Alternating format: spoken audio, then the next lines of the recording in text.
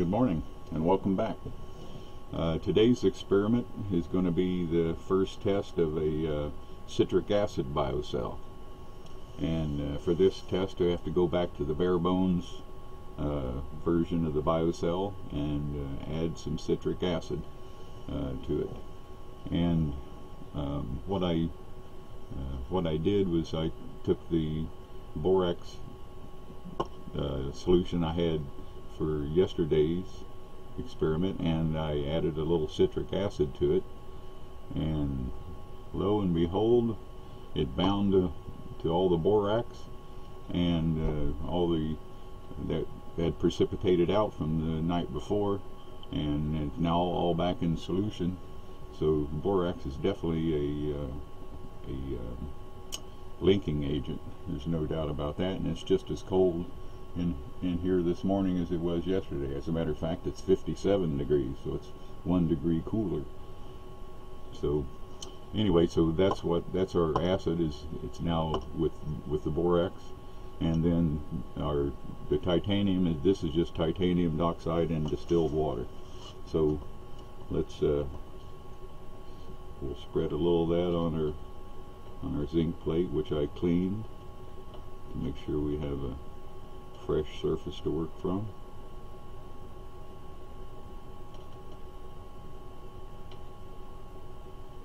And there we go, a drop or so on there.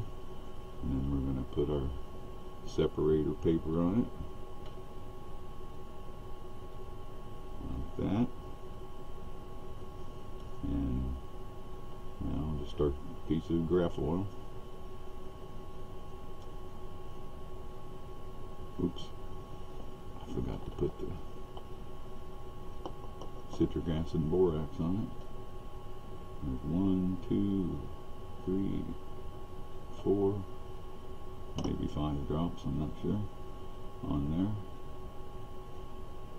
And down.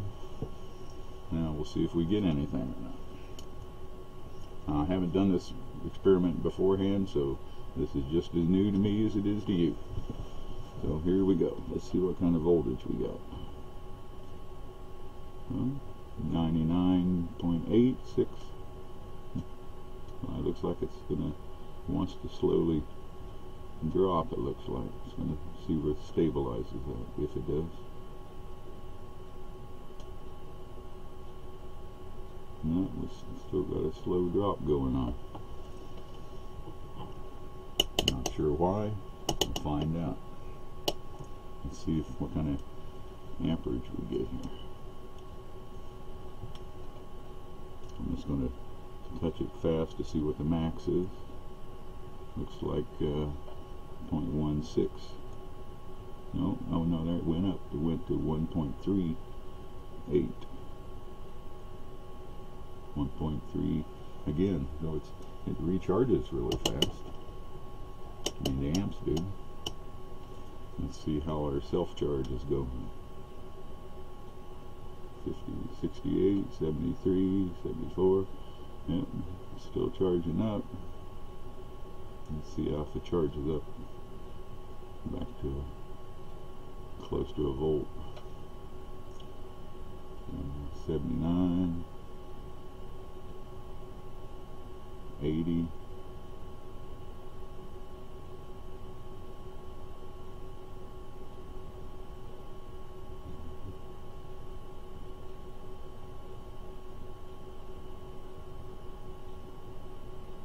Looks like the self-charge is slower on that. Uh, it may be because of the borax, I'm not sure. Okay. Oh, I'm back. I forgot to show you something that I wanted to show you. This, uh, what we have here, this is the uh, highly porous uh, carbon that I made uh, a couple of days ago and uh, it's very easy to clean and when you just dig it out of the uh, your beaker and and, and do a, something else and mix uh, some water with it. And then you just pour it through a strainer like this and you'll get the uh, most of it will, end up in the strainer and you'll end up with some with some real fine stuff in water in the in the bottom of it, and you can you can take a hose or a spray ball or whatever and wash it some more right through there if you want. Uh, it's it's really light though, and it wants to float in water, so you might have to submerge it some to to wash it good. But it, and it holds a lot of water once it's uh, uh, once you've uh, got it wet. So then you need to spread it out on something in the sun to help it dry faster because uh, it will take a while to dry. Okay, uh, so just wanted to show you that. Thanks. Well, back again.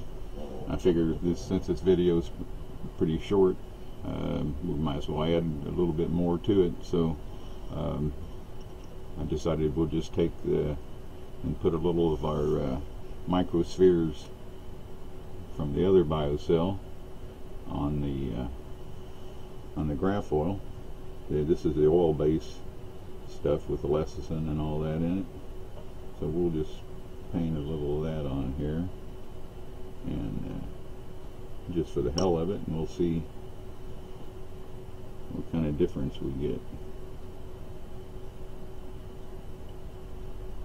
Ooh, we got a nice temperature drop right there.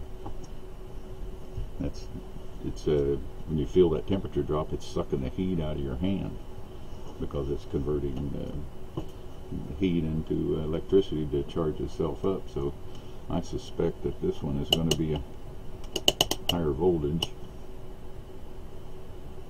Oh, let's see what we got.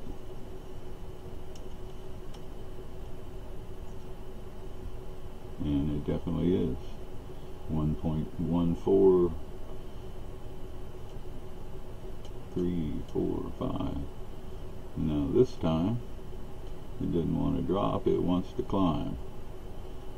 And so the, the oil base in this battery is pretty necessary, it looks like. Let's see. Go back here again. Yeah, we're at 115.5 and, and it's still climbing a little bit slowly. So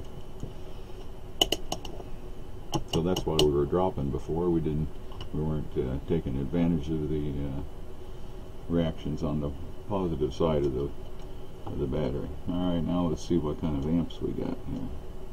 I'll touch this real quick here so we see get a max. Oh, I saw 17. Or am I? Mm -hmm. I'm on the uh, 20 amp setting, so it's actually 1.7. Let's uh, Let's take it to the 200 amps you can see it. So there's just one decimal after. Now let's see what we. Oh, 23. Yeah, 23 milliamps. Not bad. All right. Let's see what.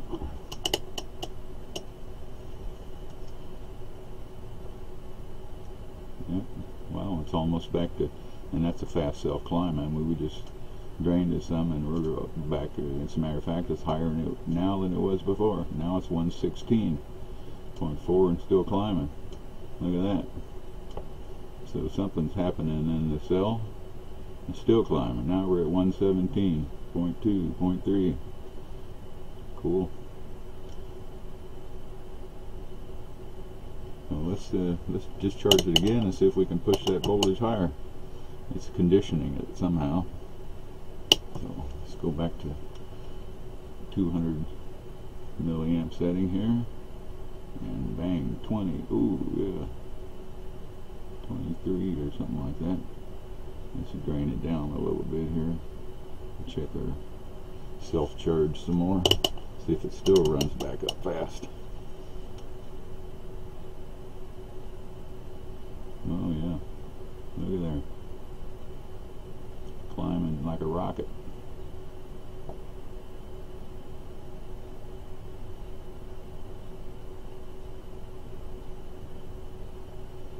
We'll see if it goes above, uh, what was the max last time? 117? Something like that.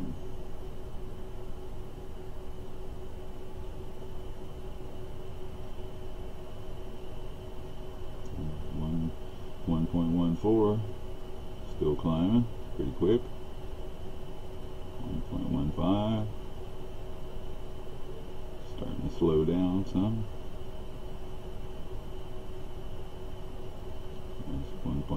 106.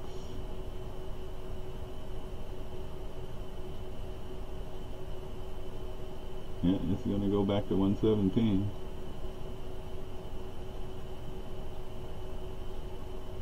There it is. Let's see if it'll go to 118.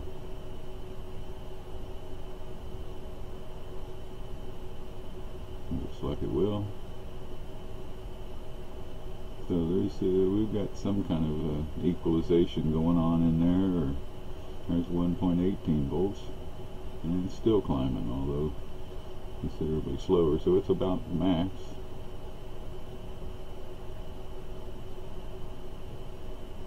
Let's discharge it one more time. Let's see what we do. See if our max voltage goes up even again.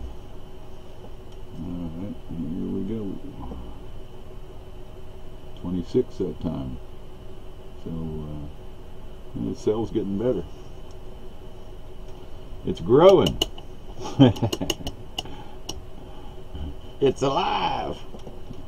I like to say that. Okay. Now let's check it again. Oh yeah, we're back up over 105, 6.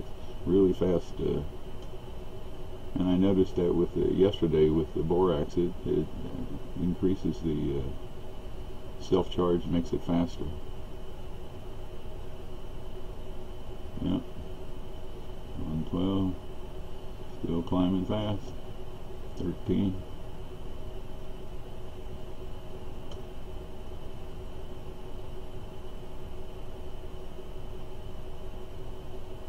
So looks like uh, citric acid and uh,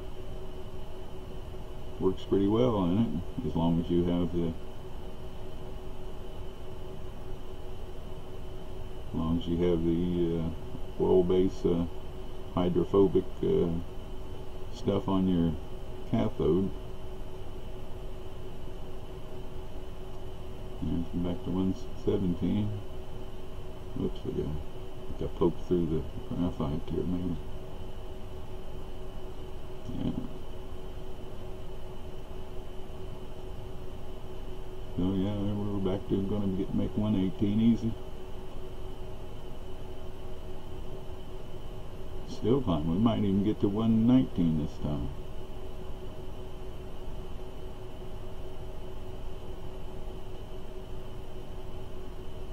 Almost there. Well, so uh, that's encouraging. There it is. 1.19 and it's still climbing. So we've got some kind of uh, something happening in the cell, conditioning the cell or uh, not sure. Who knows? There's so much we don't know in, about science. A lot of things we misunderstand, we think we know but we really don't.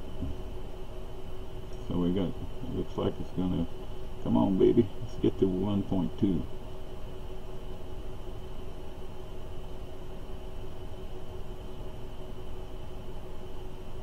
Come on, just a dab more.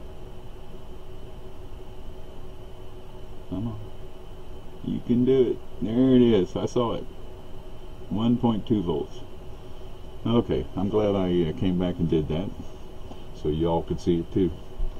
Alright, thanks for watching.